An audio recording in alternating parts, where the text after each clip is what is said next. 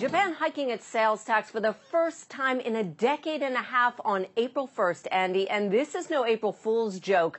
Abe first stimulates the economy, tries to get spending moving. Now it's like he's letting the air out of the tires.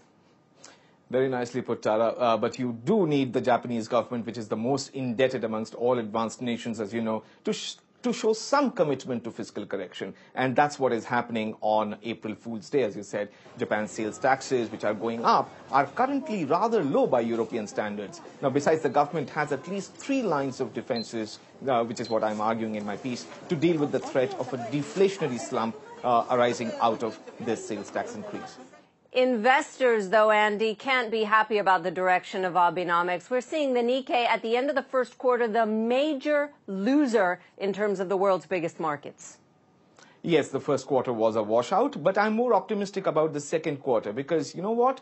You would have the government channeling back into the economy most of the additional tax collections from this sales tax increase which is kicking in. Now, if they can do that in an accelerated fashion over the first half, the market will welcome it. Then there is, of course, the bold deregulation of the Japanese economy that uh, Prime Minister Shinzo Abe promised just this last Friday.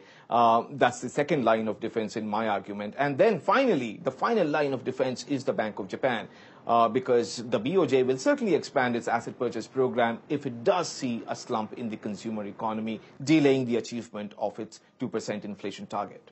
Japan's sales tax hike starts on April 1st. The Nikkei down rather badly at the end of the first quarter, but there is hope, says Breakingviews.